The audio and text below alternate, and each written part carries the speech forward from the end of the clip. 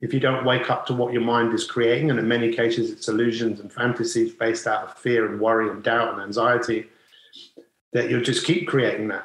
And you don't have to create it. You can create something else. One of my friends who you've met, Patty Dobrovolsky, she said to me once, she said, You've got a choice. It's love or fear.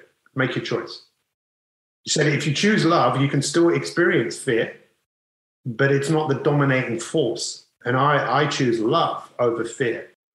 Welcome to the Cosmic Love Antenna Podcast. This podcast is meant to encourage you to connect within so you can share your light with the world.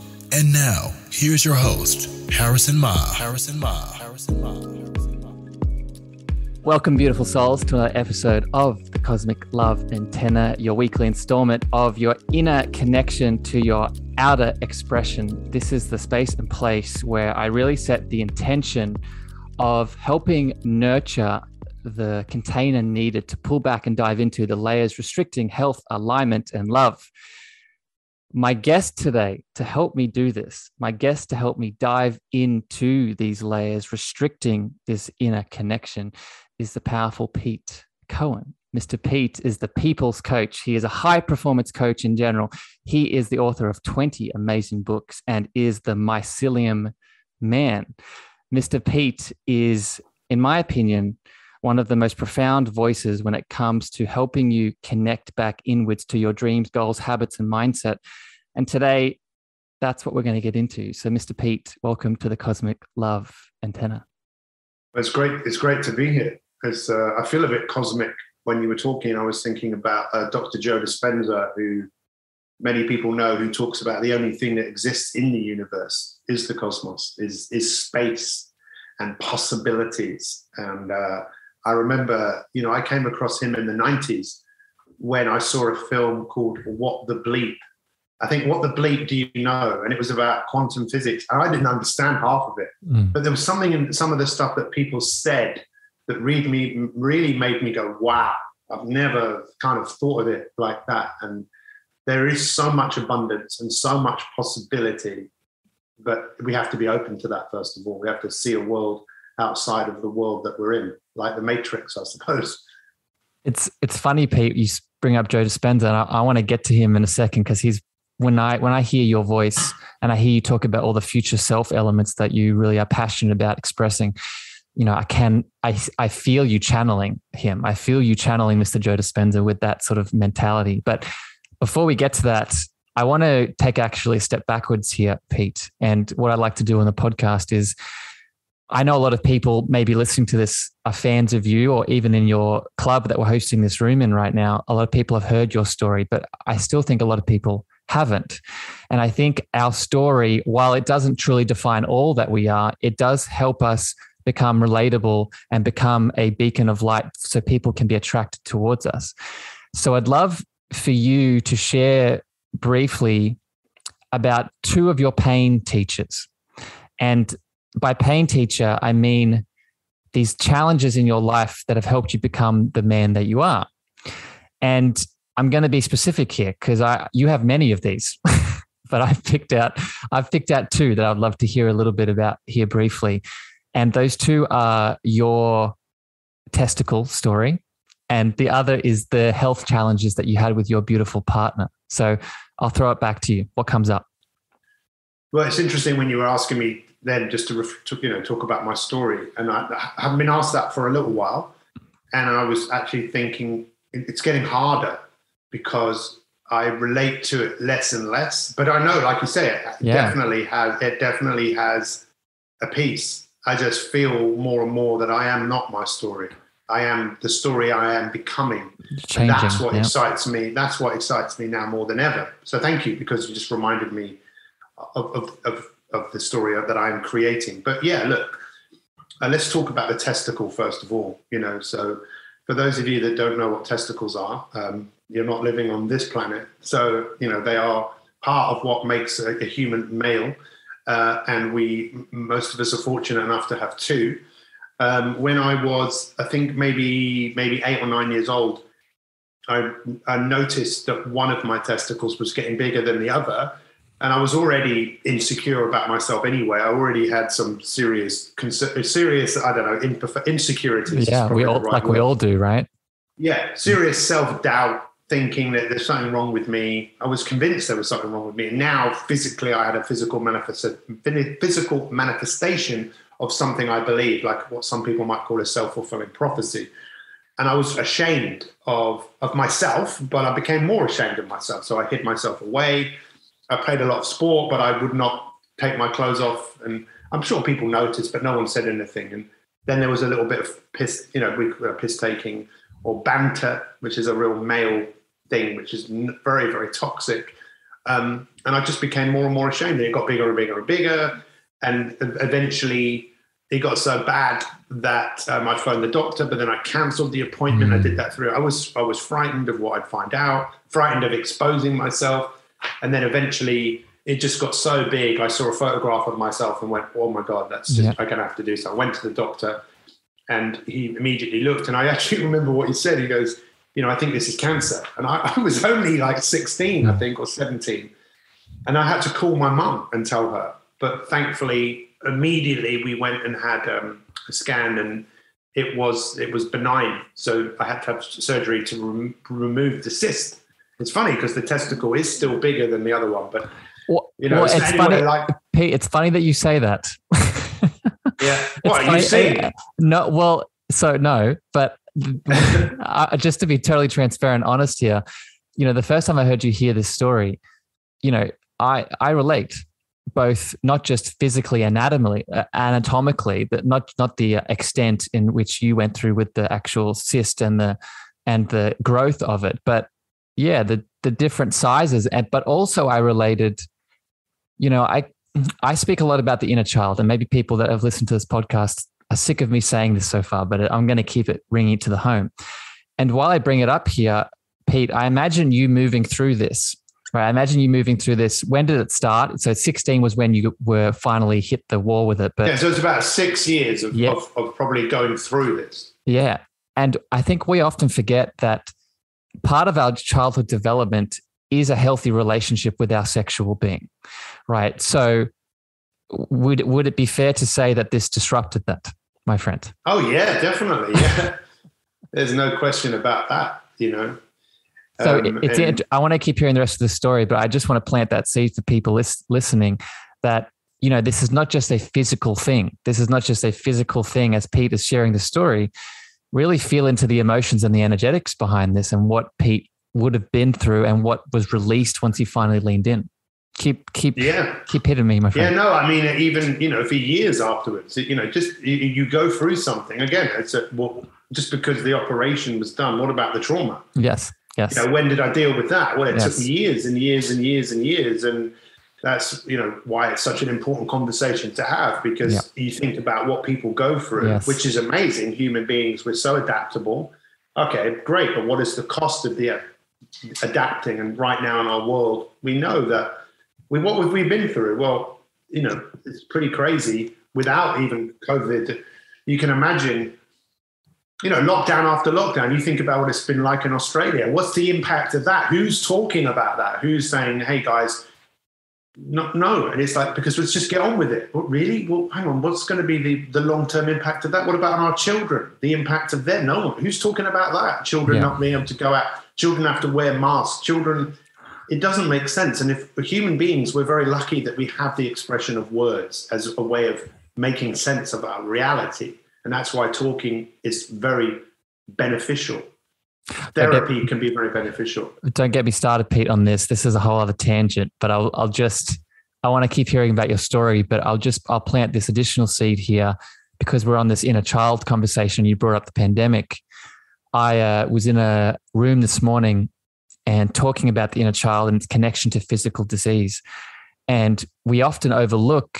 So I just talked about the sexuality element of the inner child expression but we also don't we also overlook our the our the ability that a child needs to mirror slash echo what is happening with the outside world and you can imagine how like you just said with the lockdowns you know i'm not here to be controversial about masks whatever your opinion of it i think what we cannot overlook is how the masks for example we're able to obstruct emotion, obstruct smile, smile, right? So any, any emotion, yeah. you know? Yeah. So yeah, just as people are listening, sit with these things and realize that this inner child dynamic plays in many ways and it shows up in the body across mind, body, and spirit. Well, you know, so, so what you just said there makes me realize just the importance of being a love vessel, getting your love antennae super fired up that when you meet anybody, just give them some love. Yep. Because that's what people need, right? What's the antidote to fear? Well, I mean, it has to be love, right? So you know, just to say to someone, "Hey, how are you?" My wife and I, when you know, we go for walks every day. Um, she will say to everyone, "Hello, good morning," and she means it. She's giving someone something, and what what greater gift can you give any human being than the gift of "I love you"? But you don't actually have to say those words, even though that's a nice thing to say. To yeah. you know, Welcome, w- welcome to the one of the intentions of this podcast, my friend. So I'm happy you're already in it. You're in the cos. You're in the cosmic love. It's coming. It's moving through you, Pete. Um, I, speaking of your partner and your beautiful wife, can you give us a quick share and story about? Because this was the other point I wanted people. I want people to hear about your beautiful journey and again this this being that we're listening to and the and the and the work that you do in the world. I know that you know her health challenges. I think she had cancer right? Was it was it a, brain tumor. brain tumor yeah a brain tumor. Can you speak a little bit about that and how yeah, it's course, impacted? of course of course. Um, so i think it was 12 years ago. In fact on april the 1st i think it was 12 years ago that she had surgery and wasn't given long to live.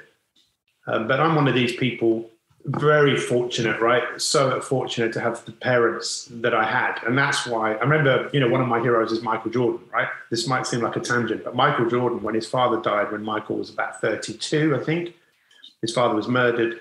I remember hearing Michael Jordan say, he goes, I'm lucky I had my dad for 32 years. Some people never had that, you know? And um, I, I had parents for 50, you know, 50 years of my life uh, my mum died a year ago. My dad died a few years before that.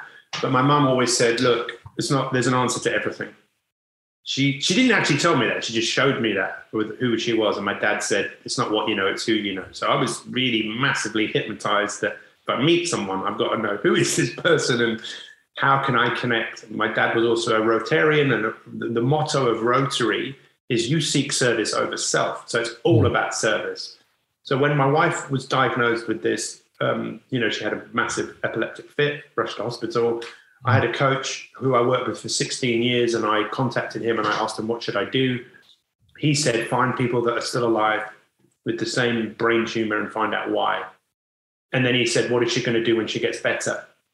So I did find people that were still alive. I didn't ask her the second question for three years, but basically, and I tell you, when I think back, of the trauma that I went through, and this is something I've been thinking about recently and having to kind of revisit and readdress for a few different reasons.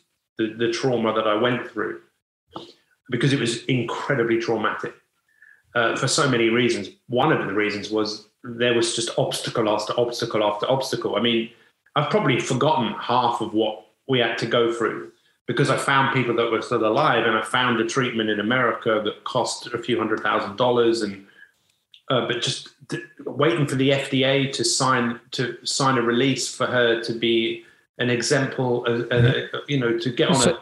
So, Pete, let me let me jump in here super quick because this is really interesting, and this is this is bubbling up in me, and I want to ask you this.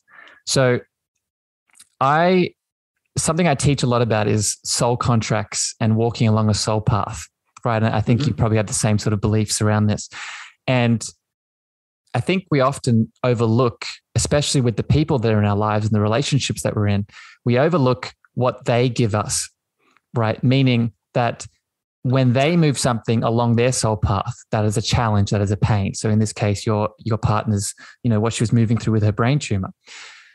We often overlook because obviously we want to be there to help them. We want to be there to love them. We want to be there to guide them and give them what they need. In that process, I feel often we can overlook what their what their pain, what their lessons, what their challenges are giving us, right? What that is allowing us to do. And correct me if I'm wrong here, Pete, but it sounds like with all the spaces and places you went based off what you needed to do with her, it sounds like it gave you a lot. It sounds like it oh, gave you a lot. I just didn't know at the time. Yeah, I mean, that's a great question because I look back in retrospect and realize, I mean, there's so many things that came from that. Yeah. So one of the biggest things you referred to me as the mycelium man. You know, through uh, you know how we're connected. We're connected on many levels, but we're connected through Paul Chek, who Yep. you know Yep. I know Paul. You've studied with Paul. Yeah. Paul Chek well, used to um, what's the word when you work? He used to work with uh, Dr. Rakowski, Yep. who I met in Houston, Texas. Who Yep. we met when my wife was being treated, and then he introduced my wife to a ketogenic diet, and then said, "Look, if you drink coffee, drink this because the coffee had the mushroom in it." That you know, there's over three thousand medical studies. So, do you know how many people every single day drink a cup of that coffee because Because of I that mean, choice. because of that choice. Yeah. It's ridiculous. I mean, right Yeah. now there's probably I don't know someone in who's listening to this is probably drinking a cup of that coffee Yeah. because of my wife had a brain tumor and their life is better because of that. I mean, that's just one. And it's not But even that's having the go on. Sorry. And it's sorry, I just I'm getting so excited, Pete. It's and it's not even you. That so now it's not even a soul contract between you and your partner. Now it's a soul contract between the other people that have been affected by the mycelium and the mushrooms.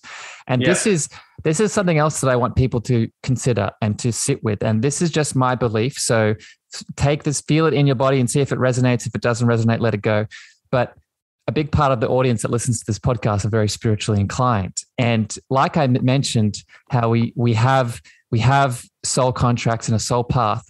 We also, before I believe, before we come into this incarnation, we, we sit down and we and we look and we write down, okay, this is what this is what I want to do. This is who I want to impact. This these are the shifts that I want to learn. These are the lessons I want to go through. I'm wondering, Pete, if you think that that mycelium and that mushroom was part of that predetermined path. Yeah, I mean, like I, I love, I love what you say. Uh, it, it's so, it's, it's so deep when you start having these conversations because it's like the cosmic world is infinite. So we open up a doorway that literally there's infinite possibilities. But what you just said there reminded me of what my coach said. He said, when you look at religions and you look at the origin of it and you look at the, the origin story, Mm. one of the stories that you hear over and over and over again is once we were a beam of light Yep. and we saw a life for us to go and lead. And we chose the life, as you said, because of the many challenges that you wanted to go through to evolve as a spiritual being. And then when you chose the life and you went into, you know, the sperm, the egg, you then forgot all of that. It was like, it's gone. And now you are you up for the test? Now, it's up to, like you said, it's up to everyone, whatever you want to believe. And I, I'm not here, we're not here to tell anyone what they should and shouldn't do. It's none of our business. But it I think we share our truths. And my truth is I am a spiritual being living in this physical body. And that's it. And the more I realize that, the more, I don't know, the more power it gives me to look at the infinite possible. I don't often talk about this stuff. So, you know, I love keep it, to Pete. myself. Keep it, Yeah, keep yeah. it, keep it coming, Pete. This, that's what this podcast is about. I love it. So Yeah. I, I, I want to, I want to keep mining this from you, my friend. But now I want to. So thank you for sharing your story about the testicle. Thank you for te- sharing it about your partner. I hope that gives a bit of foundation here for people that don't know you that can can relate to a little bit of your experience and your journey. And I agree with you. I think our stories are a part of us, but we're an ever evolving being. And when you said you're a spiritual being having a human experience, I think my whole audience just tuned in to your energy because it's something I repeat all the time. What what I want to do now is I want to channel this spiritual energy through some of your pieces of brilliance, Pete. And like I said in the intro, one of the pieces of brilliance you share as a coach, and it's funny, you were just doing a room on this on Clubhouse before we started, is on the topic of habits, right? So I want to throw it back to you, my friend, and let's start with this question and we can filter in the spiritual lens. What what would you say to someone that's trying to implement a successful habit? What do you think are the go-to sort of things that come up in your mind to share? Well, well, first off, when, when when I'm having a conversation like I'm having with you, the person who's benefiting the most from this, in my eyes, is myself because I am reflecting on myself, and I just had an epiphany um, of you know, if I'm a spiritual being living in this human body, what is the vehicle I have chosen to help people mm. tap into their spirituality, to step to step into their whatever you might call it, your greatness? It's through habit. It's through habits. It's it's you know, I think habits are our superpower in terms of what you know. What could we do that would literally transform our lives? And I would say it's our ability to look at ourselves with a curious mind, to know that we, we are where we are, this is the place to be, and that we have a choice. And the greatest choice that you will probably make, it, yeah, it's who you choose to become. Um, being connected to the person that you want to be. I think this is so missing, but you talk about inner child. Yep. The inner child, children, children have this natural disposition to be excited about something they're going to do. Mm. I believe the only reason we learn to move, the only reason we learn to communicate is because we want something. So we, we make noises because we want, what do we want? We want to be fed, we want a nappy to be changed, we want to be held. We want to be, we want love. You know, love stimulates the growth of the brain. That that's been proven, right? You know, there were uh, babies in. I remember one of my partners went to um, Romania. She was working with children with HIV, and back then they thought that if you touch a child with HIV, you could catch it, right? So there was all these children that weren't touched. And they saw years later that the, the brains were much smaller. So we know that the stimulus, so they want to be touched, they want to be held, they want love. Then they learn to walk. Why? Well, because they see something that's over there. They and want to go and get it. They go, and it's not easy, and the body can't can't do it. But the brain goes, well, I'm forget that. I'm in charge. Let's go. But as we get older, our bodies start taking over a little bit, I think. But the point I'm trying to make here is that knowing that energy, that's for me, the childlike yes. energy of wanting something, a child that goes, oh, I want to do this, I want to be this. And what do you want to do when you grow up? I want to be this, I want to do that. Or a child that when there's something's happened that was so amazing, they can't wait to tell someone about it. Like, and that's an energy which is quite hard to contain you know. But that is the it's, it's the human experience maybe for to to do something that you want to do and and know that it's not always going to be easy. And so for me it's about it's about about habit habits is a great way of tapping into your ability to learn to evolve. Because i think as we're here if we get into the habit of evolving and growing it becomes infectious and we just want to keep doing it. So pete I'm gonna I'm gonna check off your intention of wanting to learn, and I'm gonna add something here that might expand your awareness around what you just said. So first of all, thank you for sharing that. I hope that I loved that analysis of imp- implementing habits from the inner child perspective. And I think what a lot of people overlook is that when we talk about that spiritual being that you just talked about before, that spiritual being that's having this human experience, the inner child consciousness is a part of that right? So you just you just highlighted that power and that energy that the inner child has when we first come into this world. And I would say that what that energy, what that power, what that potential that you notice is that full spiritual being, right? And and it's because, and this is what I want to get your perspective on and how this feels for you. We know that the childhood ego mental structure doesn't develop until you know six seven you know moving beyond. Up until that point that spiritual being has a full reign of awareness within the physical body. So everything that you're saying about that pure childlike potential that is flowing through us to help us have habits and goals and all these things a big part of it is because that spiritual being is unbounded. How does that resonate for you Oh, it's it, it's you know it's like anything is possible to a child. They don't understand impossible. They don't understand. That's why they ask the question why, why, why, why, why, why? Because there is some fear attached because they don't understand, so they want to know, they want to learn. Yeah. But then it all goes wrong for most of us because you know our parents who've got their own issues and own challenges, and then school. I mean, for me, school is just a complete waste of time. it was just a, it was pathetic for me. I can't speak for everyone else. It was like everything I was good at was taken away from me or not encouraged. You know, uh, for me, what was the point of learning? I don't care what anyone says. For me, maths, I mean, I understand, but if it would been taught to me in a way that stimulated me, I would have wanted to continue to learn. I, I, I conforming word, to me. The word is stimulate, to, Pete. The word is yeah, stimulate. I was, I was unstimulated, which means yeah. boredom. Yeah. You know, my coach once said to me that he said, you know, you're a lot like Jesus Christ. And I went, what do you mean? I said, what do you mean? He goes, well, what do you know about Jesus? And I said, well, I know a bit. I am Jewish. I mean, I was brought up as a Jew. I went to, I had a bar mitzvah, but I went to a Catholic school.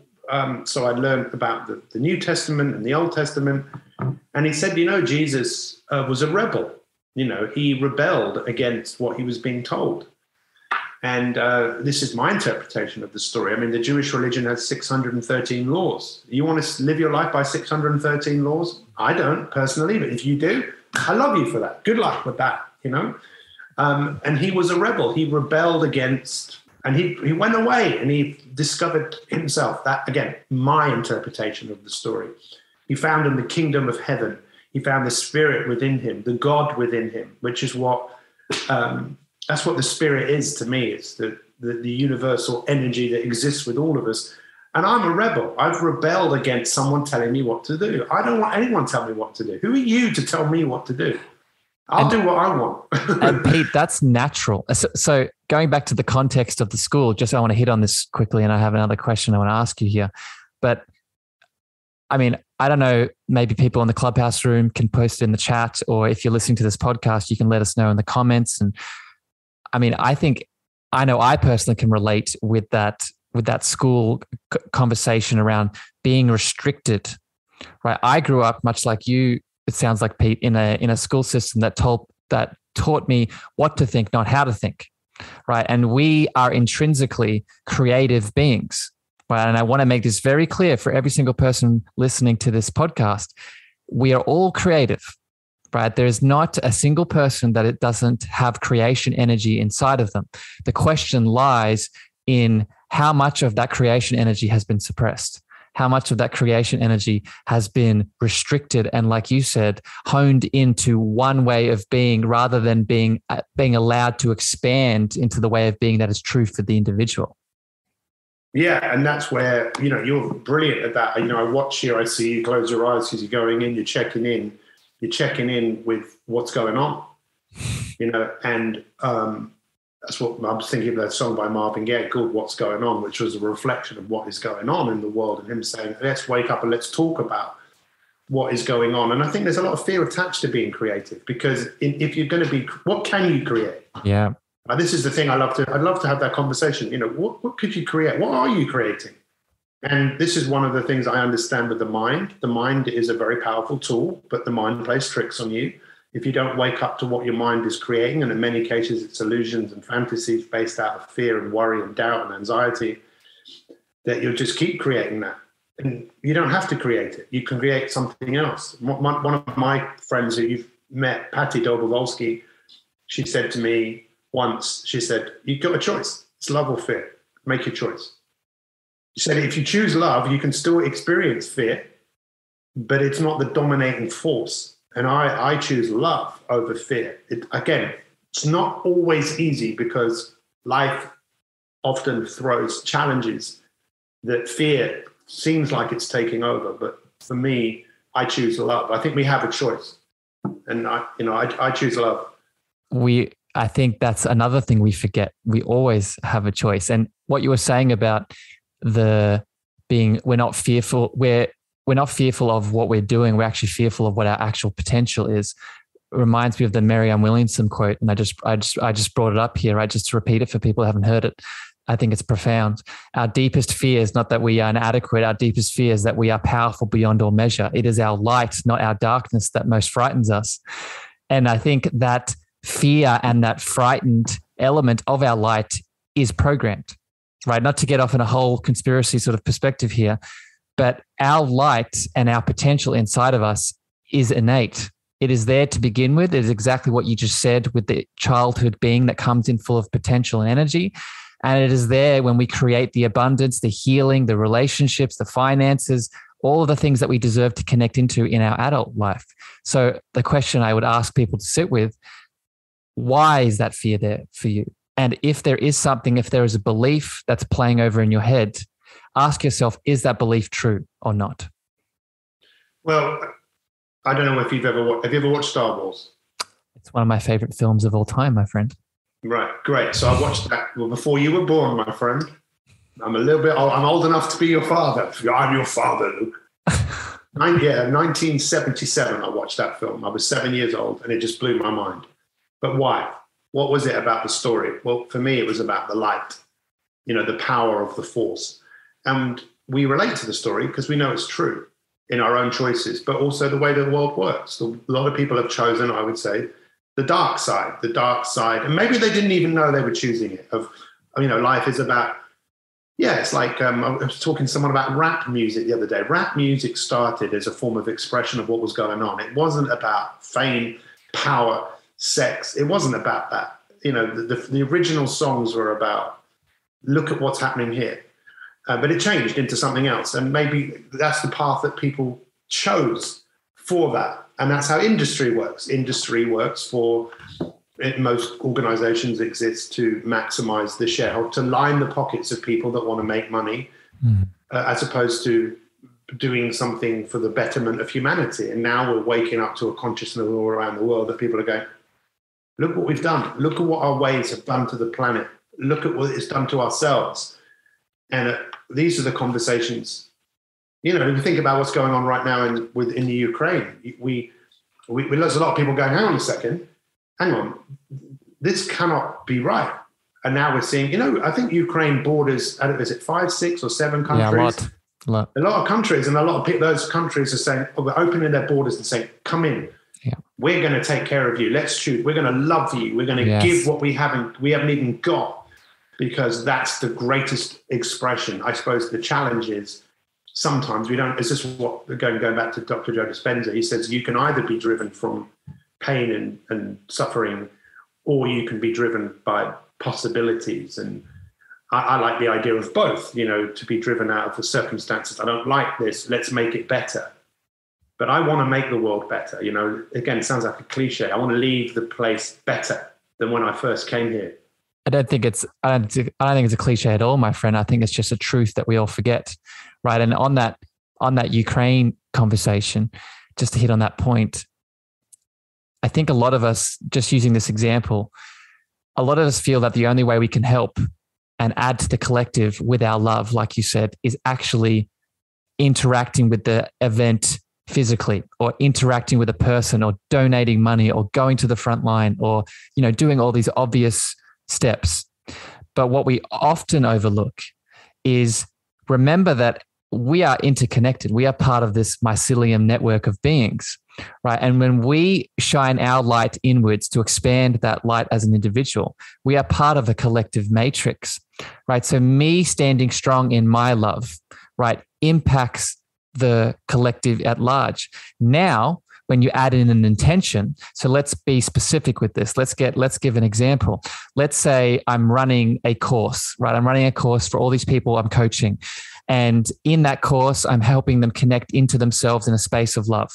If I sprinkle in into that act of love that I'm committing for myself with these people, the intention of I'm going to direct all the love, all the light, all the energy, all of the hope, all of the kindness to Ukraine, we're not at a point anymore where we can say that that doesn't have an impact, right? We know of how energy transcends time and space. We know of the Maharishi effect, right? When people meditate in one location, they set the intention, and it impacts someone on the other side of the world.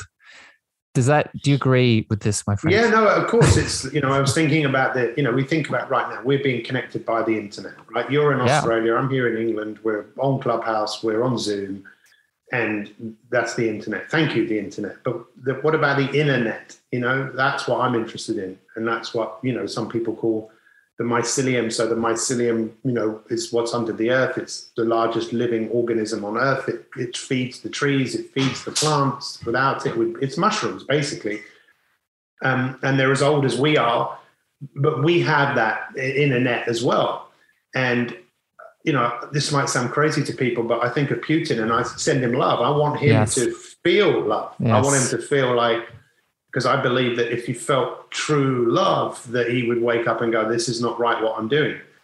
It's just choosing to put love into the world. And uh, you know, you talk about the Maharishi effect. I remember, you know, learning transcendental meditation many years ago and coming across a study that was done from people that meditated and they, they brought down the crime rate. And yeah, I think it was in Washington State. Yeah. Um, and it's like, well, some people would say, well, that's not true. It's like, okay, great okay, you come around to my house and I'll be in a bad mood. And let's see how long you go. I don't honestly, I don't want to be around you, you know. And it's like, do we not realize that if we can learn to, and this is again coming back to Dr. Joe Dispenza, if we can learn to think greater than we feel, then we have so much power to impact everything yeah. else around us. Yeah. Um, but it's just a different perspective. It's just like the Matrix again, you know, which reality do you want to live in? The red or the blue? yeah, I, I, don't. Which one does he take? Does he take the red pill? Uh, I think the blue pill is the one that wakes the him up. The blue pill, yeah. yeah. Well, there's yeah. another term for the blue pill these days, and you, yeah. you know, yeah, that's um, another conversation. That's a, that's a yeah. Well, it's funny how they found that. Funny how they found the blue pill. They weren't looking for it, and that's what happens when you start looking for the betterment of yourself. What you can find along the way. I want to add something to what you just said, Pete, and then I want to talk about a topic that you're very passionate about. But before we get there, I just finishing the Putin conversation. I two things. One, I think we often feel that love is weak. I think we often, and maybe this is my own programming speaking here, but I think when we act from a space of love, I think there is still programming around us that says that that's emotional, that's sensitive, that's vulnerable. But I want to I want people to remember that love is also powerful. Love is confidence. Love allows me to express my truth. I can be angry and mix that anger up with my love. And now my anger becomes the voice, the boat of my truth. And how have I done that? I've done that through adding in love. So, just with not just with Putin, but with everything, I want people to remember that love is feminine, is is that flowing nature, but it could also be the masculine, powerful nature as well. The other side, because we talked about the inner child, I want people to sit with this conversation too, right? Hurt people hurt people. And I'm not condoning any sort of act around the Ukraine Ukrainian challenge. And of course, all these people need to be help, help, helped and help and supported. But also ask yourself the question: Where are these actions coming from? From the person making them, right? Are they coming from a place of confidence, love, and and and and healed a healed foundation, or are they coming from a place of pain?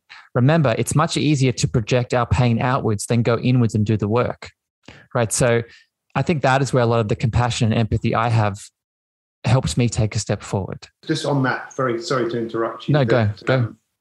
you know, my brother is a, is a psychotherapist, his wife is a psychotherapist, and we often talk about, you know, these things. And many abusers were abused. Yeah.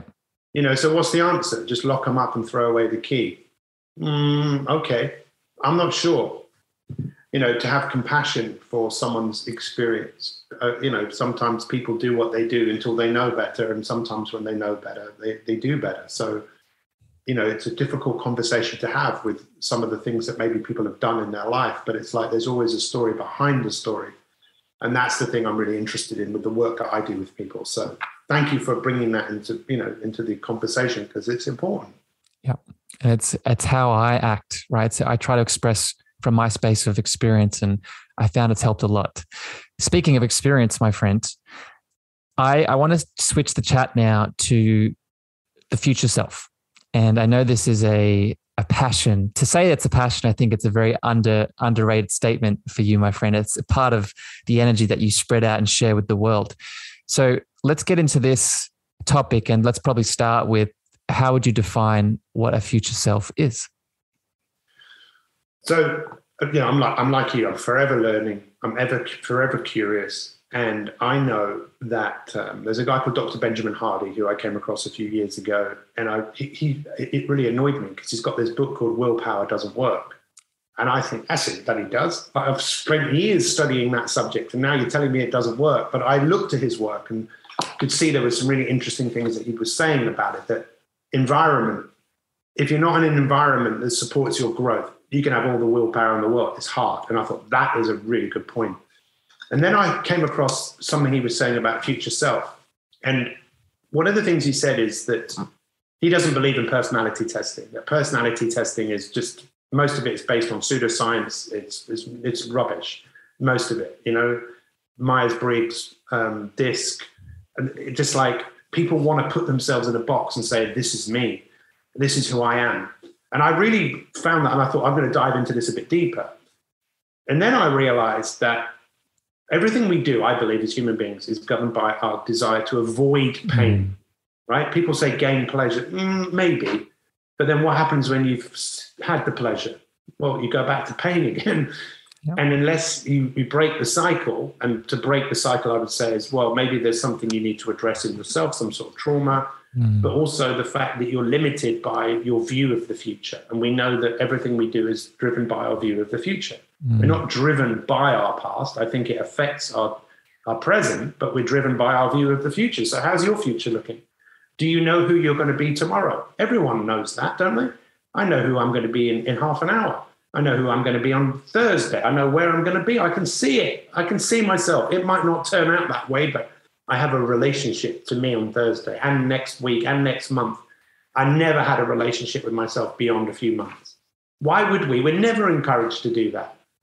We're never encouraged to um, dream big. And so that I believe most people are living a future they don't want. And I, and, I, and, and I know now from the work that we do with people that we're able to help people be excited and build an empathetic relationship to their future self. They're guided some people might call that their higher self.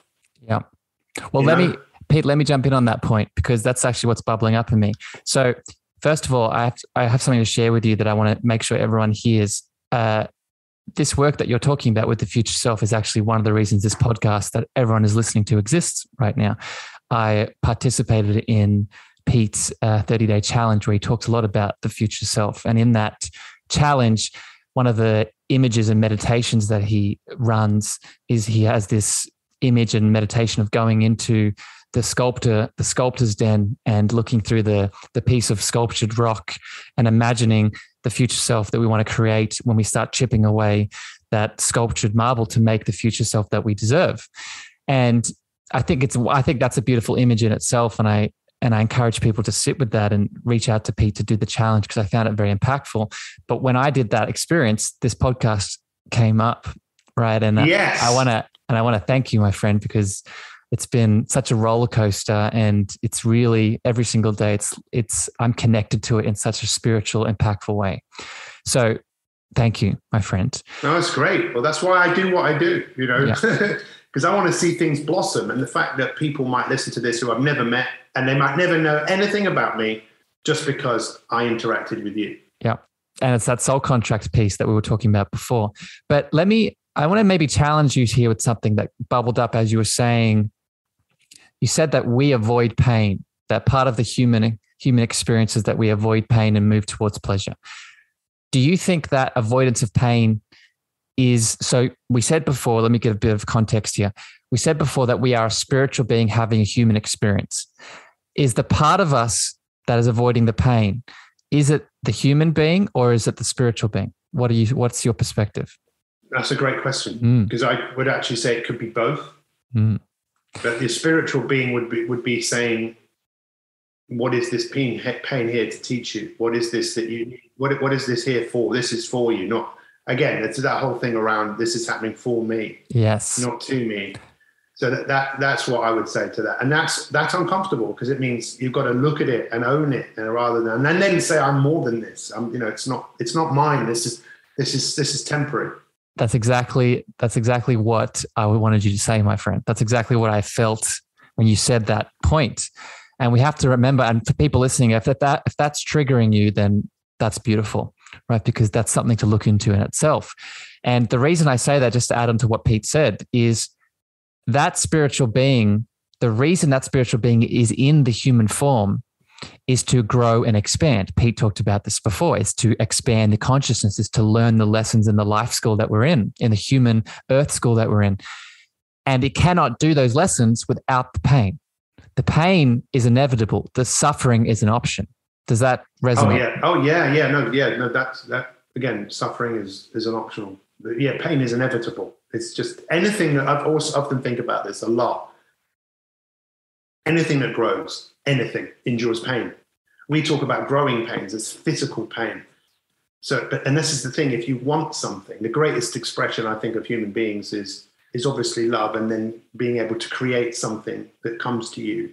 But knowing if that's what you want to create, don't expect it to be easy. It's like you're going to have to go through something yes. that's going to challenge that growth because that's the seems to me how the universe operates. Yeah, I love it, my friend. On on this topic, I have a couple more questions here before we wrap up, and I want to be mindful of your time. I know you're a busy man, and I appreciate you so well, it's much. Not for that. It's just my wife. My wife is uh, ready to go for our walk. Oh, I love it. I can okay. feel it. I can feel it. um, well, I don't. I don't want to hold her. So a few more questions so that come up. So I want to ask, where within the future self paradigm that you are so passionate about, and we just hit on it just then a little bit, but I want to get practical with people. What, in your opinion, what are some spiritual practices that people can implement that can help them with their future self, with their future self relationship that come up? Other than, of course, you know, I just talked about the meditation that you had with the sculpture. What are some other things that bubble up that people can use? Well, I suppose it's to know that you, you're you're going to meet your future self anyway, right? It's going to happen one day. You're going to meet the person you're going to become. But just take a moment to think about someone like Gandhi, who basically worked out that he couldn't be who he was. He had to become something more because who he was, he wasn't the right person in order to have the impact that he wanted to have. So he said, Be the change that you want to see in this world. Like I could look into the garden here and think about how I want this garden to turn out. I could do that exactly with me. Who do I actually want to be? Who could I be if I put my mind to it? And then to realize that that is there for you. And this is one of the things I say is when you see that person, I'd say that it's not you, but it could be you. It, it, could be you. This is the great thing about life is choice that human beings have. You could choose to become that person. The easiest thing to do is to choose to be who you are right now. So mm. we don't have to be our past. We can we can evolve into something else. We can transcend. We can transform. We can move beyond. But I, I know sometimes I push people, and I, I, realize I think people often do need a bit of pushing. Yes, hundred you know? Well, I think it's I think it's because we often feel like we have to do it alone, right? And this, I think this. I want to hear more about your practices, but this connects beautifully into the collective mycelium analogy we were using before. Is that I think the relationship, I feel that the relationship with our future self, it doesn't have to be an isolated thing right? So, for example, I I spend a lot of time in your club, and I come in and see the rooms that you host, and you know you don't host rooms just with random people that pop in. They they random people do pop in, but I've noticed that most of the people that pop into your spaces, Pete, are the people that have already built a connection with you. And this connects to this idea that our relationship with our future self isn't just a relationship with our individual future self. If we decide to lean into it, I also think it's a relationship with a collective's future self. Because now, and I want to sit, hear your opinion on this, and this is going super spiritual and deep, deeply woo. That collective future self is the individual future self, meaning that when I have a individual goal that I'm moving towards or an individual embodiment of maybe manifesting a job, maybe manifesting a relationship, maybe manifesting more health. If I'm a, if I'm doing that in a tribe of people that are also individually manifesting their future self, that's a superpower. That's supercharging all of it. Do you resonate with that, my friend?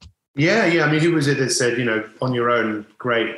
What if you get together with someone else, then two become three, three become however you want to it becomes more powerful there's um, the most powerful horses in the world are they're called belgium work horses and they can pull so much weight but when you bring two of them together that grew up together they can collectively pull more than they would have pulled it just the numbers, it's that com- combination of energies that make a more powerful energy.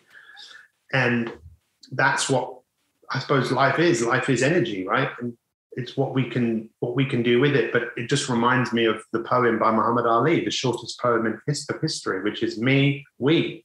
You know, that's what he said. Me, we. They're you know, with me, there can be everything I do is not just for me; it's for we. Yep. Oh, So I love it. We could make a we can make a, a whole other podcast just on that little point alone. I um I love you very much, my friend, and thank you for spending time with me today. I'm really pleasure. I'm It's really enjoying pleasure. enjoying this chat. I have one more question, two more questions for you, then we'll wrap this up. I I want to just quickly for people listening, I want to ask I want to ask you about your routine, right? Your routine with your future self. So, for example, I my routine, which I've actually built a little bit based off your coaching, right? It starts with meditation in the morning, starts with journaling, starts with affirmations, starts with visualizations, and then I have my self care practices throughout the day. The I think you call it I can't remember is it the six or the seven seven, the magnificent seven. Magnificent Seven. That's it. Uh, implement those throughout the day, and then I end my day with with a with another short meditation and gratitude. What I'm interested, Pete, in your personal life, what does your relationship with your future self, in terms of its practices, look like? Well, I, I get up at four o'clock in the morning, so I tend to go to bed by about eight. Um, I love to come downstairs. I drink a big vat of water with apple cider vinegar. Ooh, I put we've got hot water. I drink the coffee that's got the mushroom in it.